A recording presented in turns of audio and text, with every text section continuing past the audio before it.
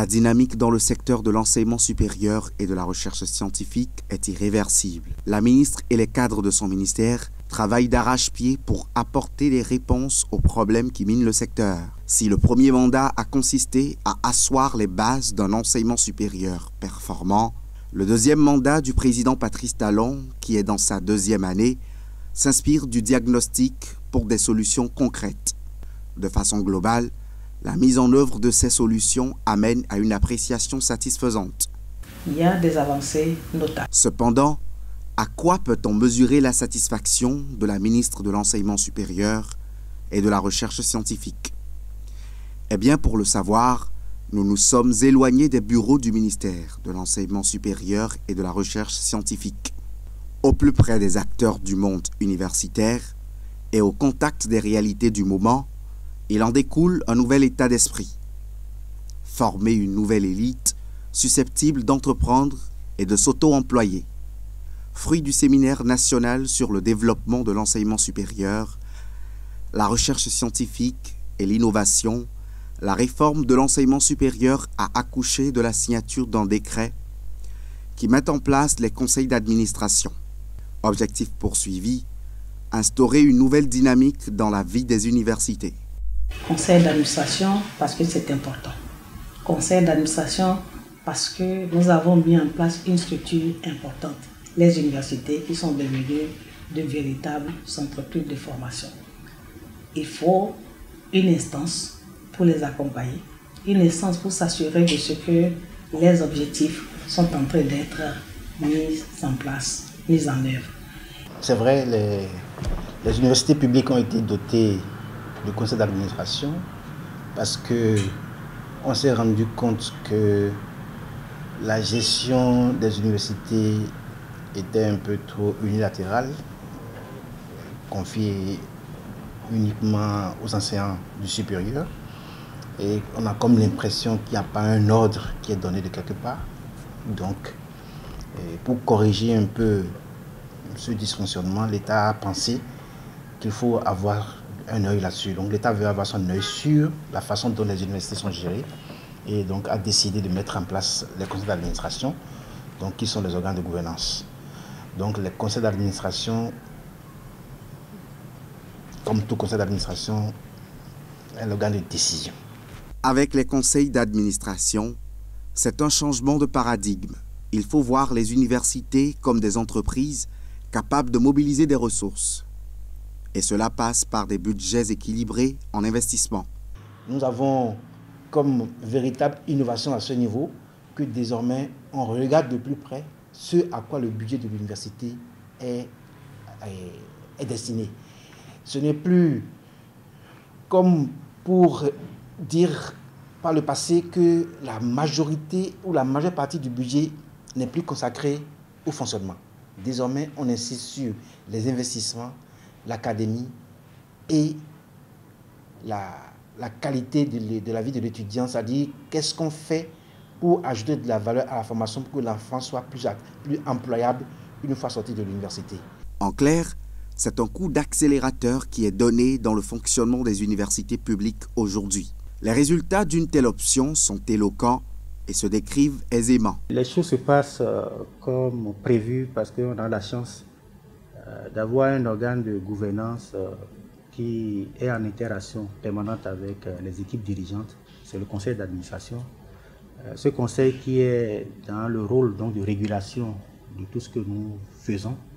Régulation pour voir un peu la cohérence des actions par rapport aux priorités de développement. Et ce conseil, j'avoue, nous apporte énormément donc, de soutien parce que notre équipe électorale euh, a un projet de gouvernance qui tourne autour de quatre priorités, de deux piliers. Nous avons euh, euh, un organe qui est en interaction permanente avec nous et qui discute de ce que nous faisons, ce qui est déjà un pas. Avant, il n'y avait pas un tel système de suivi et qui nous permet d'évaluer régulièrement pour savoir est-ce que nous avançons par rapport à ce que nous-mêmes nous avons prévu et par rapport aux directives du développement du pays. Dans une parfaite intelligence, les présidents de conseils d'administration et les recteurs des universités publiques travaillent en harmonie. Cette harmonie est d'ailleurs favorisée par la composition des membres de conseils d'administration. Ils ne se comportent pas comme un gendarme derrière nous. Au contraire, c'est pour nous appuyer maintenant dans le déroulement de nos activités. Donc jusque-là, il n'y a pas encore eu de tension. J'espère qu'il n'y en aura pas, puisque nous conversons tous maintenant pour le développement de la structure. Un nouveau mode de fonctionnement et de gestion des universités publiques du Bénin est aussi entré en vigueur depuis octobre 2021. Désormais, les recteurs et chefs d'entité ne sont plus élus, mais nommés à l'issue d'un long processus. Ce processus s'était déroulé en cinq étapes, que sont d'abord l'appel à candidature, la présélection par une commission interministérielle, sur étude de dossier bien sûr, à partir des critères qui étaient bien définis. Une réforme qui met fin à plusieurs années de politisation de l'administration universitaire avec des résultats peu reluisants. La réforme assure déjà une gestion plus efficiente des ressources, une dépolitisation plus accrue de l'administration universitaire.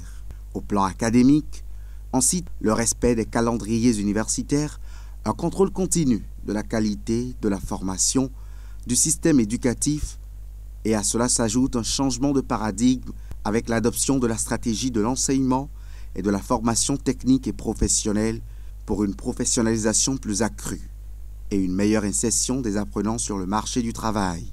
Il y a eu une nette amélioration du pilotage dans la gestion des universités publiques, notamment l'université d'Aomey-Calavi.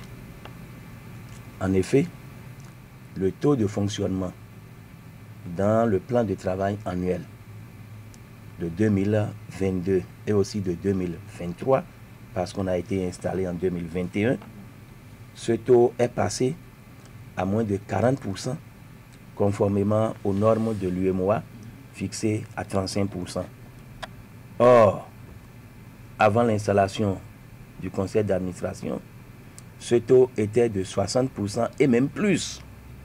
Les premiers recteurs issus de ce processus, actuellement en fonction, en gardent déjà une bonne expérience. Ça veut dire que euh, ce mode de désignation des responsables n'a rien de politique, n'a rien de relation, mais c'est purement sur la base de la compétence et du programme préparé qu'ils ont été désignés. Également, dans les entités, nous avons essayé de revoir les curricula, les ordres de formation.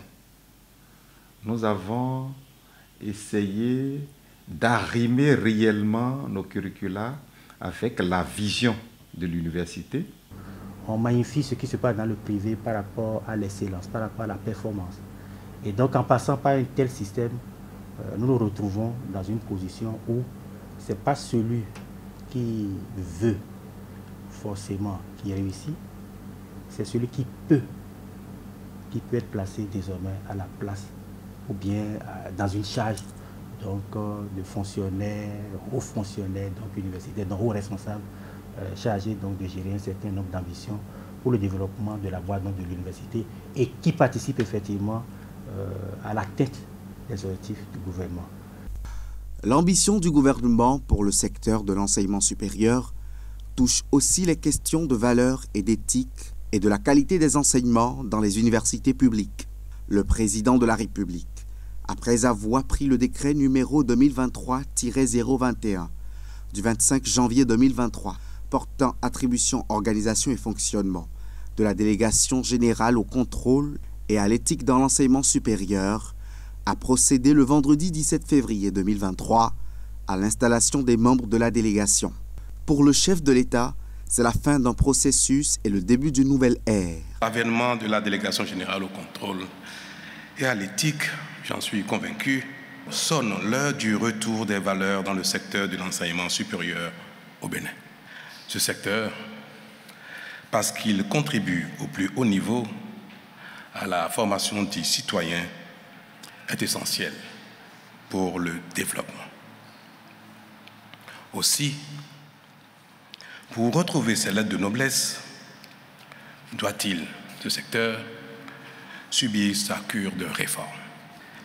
Si dans un premier temps, nous avons travaillé à réorganiser sa gouvernance, il restait encore à s'attaquer au champ de l'éthique, de la pédagogie, de la déontologie et de la qualité car à la vérité, il est un besoin pressant d'engager l'assainissement des mœurs, de promouvoir la conscience professionnelle et de veiller à la qualité du contenu des enseignements. Le président de la République justifie la création de la délégation au contrôle et à l'éthique dans l'enseignement supérieur par le besoin d'assainissement des mœurs, de promouvoir la conscience professionnelle et de veiller à la qualité du contenu des enseignements, le tout afin que l'éthique et la qualité cessent d'être simplement de jolis mots sans réel contenu. L'instance est naissante et à peine installée, l'instance a déjà euh, pris la mesure des choses. Parce que la délégation générale au contrôle a commencé déjà par regarder le, terrain et par prendre les mesures. La mission qui nous a été confiée euh, tient en deux mots qui sont les mots-clés de la dénomination de l'institution. C'est contrôle et éthique. Le contrôle, il porte sur quoi? Il porte euh, d'abord sur la qualité des enseignements qui sont dispensés et il porte aussi sur l'évaluation des enseignants. Donc, il s'agit pour nous de contrôler la qualité des enseignements et d'évaluer les enseignants qui dispensent les cours. En matière d'éthique, il s'agit pour nous de veiller à ce que les règles d'éthique et de déontologie soient respectées. Notre mission concerne d'abord les universités publiques, mais aussi les universités privées. À la seule différence que notre intervention dans les universités privées euh, va se faire dans des conditions qui sont définies par un arrêté du ministre de l'Enseignement supérieur. Et en règle générale, nous n'interviendrons dans ces universités privées que à la demande du responsable de ce département-là, notamment en matière d'éthique et de déontologie. Il faut souligner qu'à la date d'aujourd'hui, la délégation générale au contrôle et à l'éthique suit méthodiquement son agenda dans la mise en œuvre de sa mission. Le chef de l'État nous a donné euh, des instructions euh, et il souhaite nous voir entrer dans la dans l'effectivité de l'exercice de nos attributions à la rentrée 2023-2024. Cela suppose de notre part une préparation. Ce que nous avons fait jusqu'à la date d'aujourd'hui et que nous avons réussi à achever plus ou moins, c'est de poser les bases pour notre action. J'entends par là l'élaboration et l'adoption des documents statutaires qui viendront compléter le décret portant attribution, organisation et fonctionnement de l'institution. J'entends par là un règlement intérieur, une charte, euh, une politique euh, de, de, communication, un plan de communication, une politique de gestion des conflits d'intérêts, etc., etc. Bien évidemment, l'élaboration d'un plan de travail annuel qui est la porte d'entrée du budget pour mobiliser les financements nécessaires pour notre action. Cette étape-là est quasiment achevé. Et nous sommes entrés dans une deuxième phase qui consiste maintenant à réfléchir à la méthodologie qui va être mise en œuvre pour l'exercice des attributions. À la suite de cela, nous envisageons d'élaborer les outils de mise en œuvre de la méthodologie qui aura été adoptée.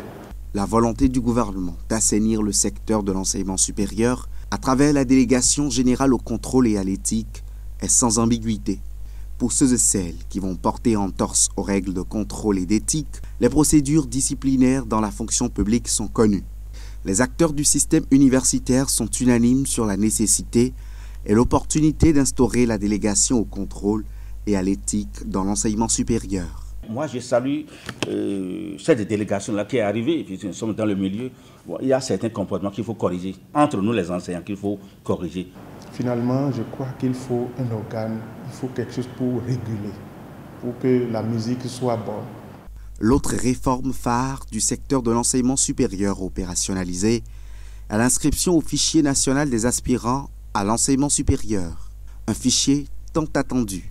J'invite donc solennellement tous les acteurs aspirants au métier d'enseignant du supérieur à se faire enregistrer dans les délais requis, puisque cette plateforme sera ouverte à compter de ce jour et ce jusqu'au vendredi 15 juin 2023, soit une ouverture de un mois.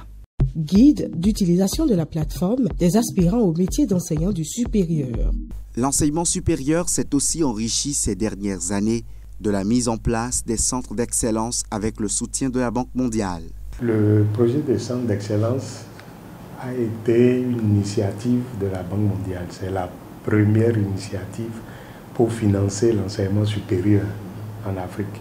J'ai eu le temps également de faire le tour des centres d'excellence. Nous, en avons trois au niveau de notre pays sur les 53 euh, qui euh, concernent, je crois, 11 ou 12 pays d'Afrique. Ce sont les centres d'excellence d'Afrique pour euh, constituer un vivier en matière de compétences. À cette réforme s'ajoute celle des instituts universitaires d'enseignement professionnel. Progressivement, l'enseignement supérieur prend un visage plus technique, plus pratique.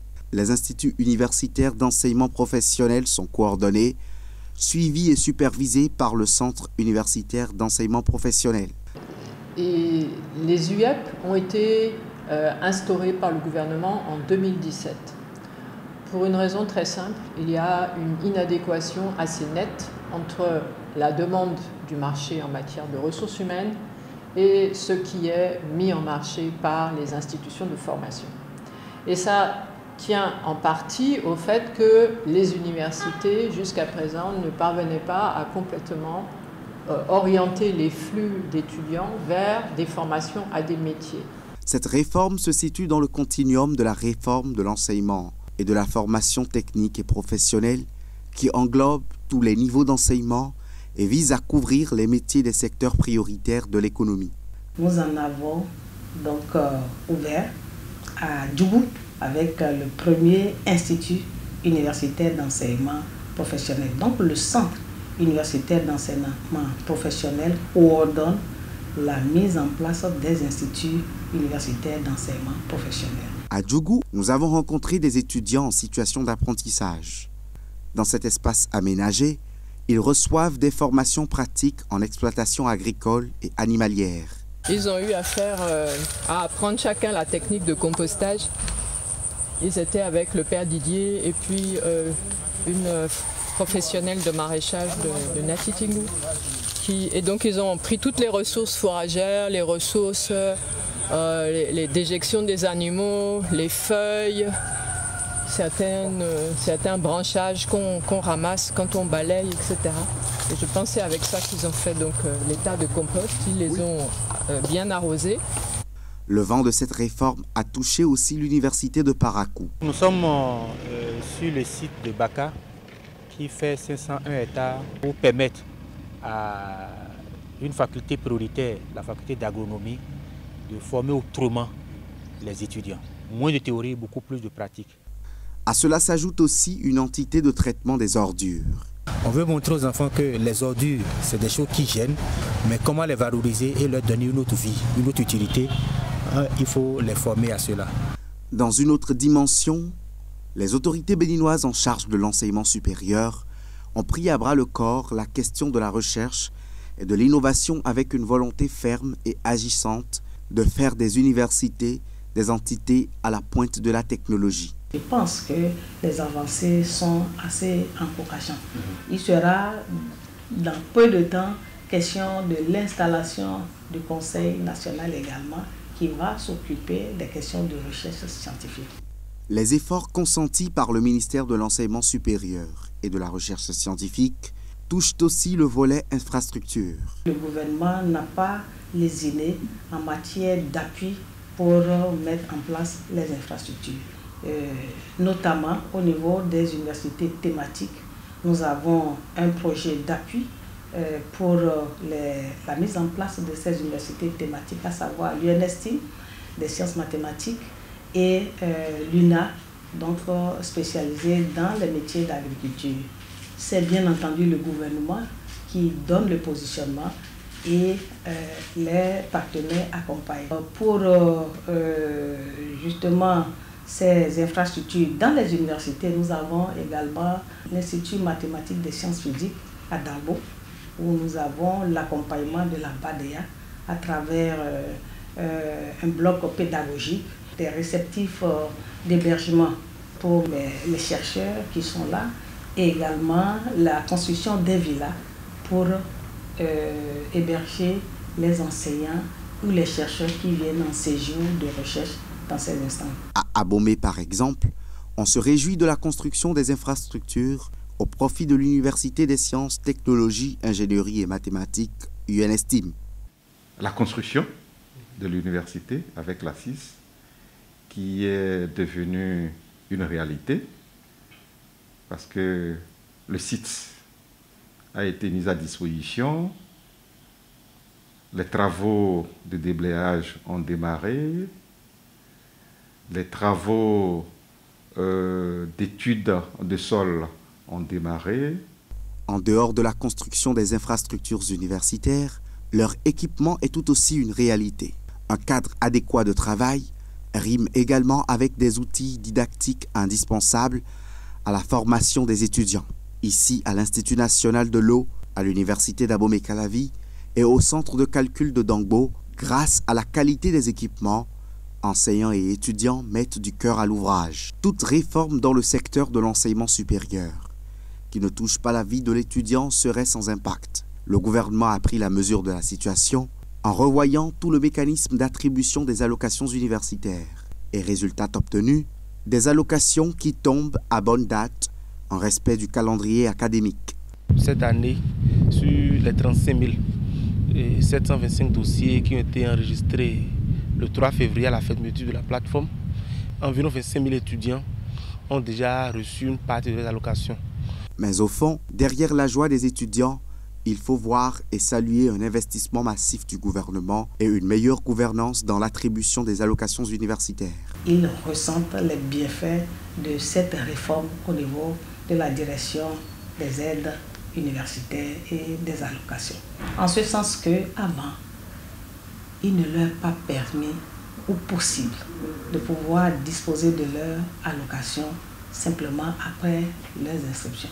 L'un des résultats les plus importants, je dirais encore cette année, euh, c'est que nous avons réussi à nous approcher de, l'idéal euh, souhaité par le gouvernement, à savoir payer hein, en temps réel, du moins après les inscriptions, faire en sorte qu'il n'y ait pas d'écart après entre la date de clôture des inscriptions et le délai euh, de paiement des premières allocations. L'autorité ministérielle reste aussi préoccupée sur la question d'hébergement, de restauration, de transport dans les grandes universités du Bénin. Le transport, vous avez vu euh, suivi avec nous, il y a eu quelques difficultés parce que les bus étaient vieux mais avec euh, la vision du chef de l'État qui a voulu qu'on renouvelle rapidement. Donc cette flotte au niveau des étudiants, c'est déjà également assez avancé. Et nous allons, euh, dès que l'identification de, des prestataires est faite, nous allons pouvoir revenir vers les universités, surtout vers les étudiants pour mieux les accompagner. De la délégation au contrôle et à l'éthique, passant par le nouveau mode de désignation des recteurs, à l'instauration des conseils d'administration, les centres d'excellence et les centres universitaires d'enseignement professionnel pour tomber sur la bonne gouvernance dans l'attribution des allocations et bourses universitaires et la mise en route des e-services, le Bénin est en pleine progression dans le développement de son enseignement supérieur et la recherche scientifique. Il faut qu'ils sachent que leur avenir, c'est ce qui nous intéresse. Il n'est pas possible d'aller se livrer à des projets parce qu'on veut juste gagner vite parce que juste on veut arnaquer. Non, ça n'amène nulle part ou non que ça n'amène qu'aux ennuis, ce que nous ne voulons pas pour eux. L'enseignement supérieur du Bénin est appelé à passer de la transmission des connaissances à la formation des compétences. Un savoir de haut niveau n'est plus suffisant pour les futurs diplômés que préparent les établissements d'enseignement supérieur. Leur qualification doit aussi intégrer des savoir-faire et des compétences techniques avérées.